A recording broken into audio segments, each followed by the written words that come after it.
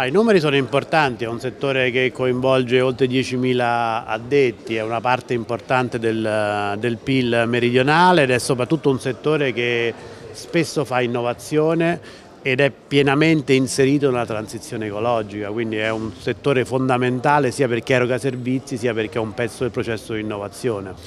Ma la fotografia per la Puglia e per l'intero mezzogiorno appunto è di un settore vitale, poi ovviamente nel caso della Puglia trainato da un, da un, partner strategico come AQP, insomma, inevitabilmente. Quello che è molto interessante del rapporto, secondo me, è il potenziale di crescita che può offrire il PNRR.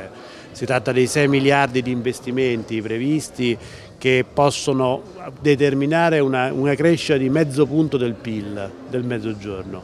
Eh, cioè vuol dire una grande occasione di investimenti, oltre 30.000 posti di lavoro che si possono creare, quindi diciamo, siamo davanti a una sfida fondamentale.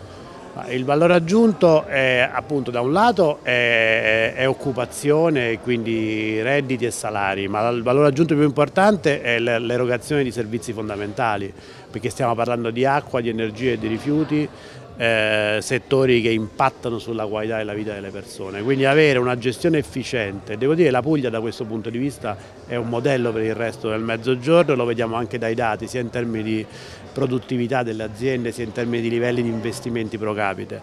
Eh, quindi investimenti in quel settore vuol dire migliorare la cittadinanza e creare sviluppo.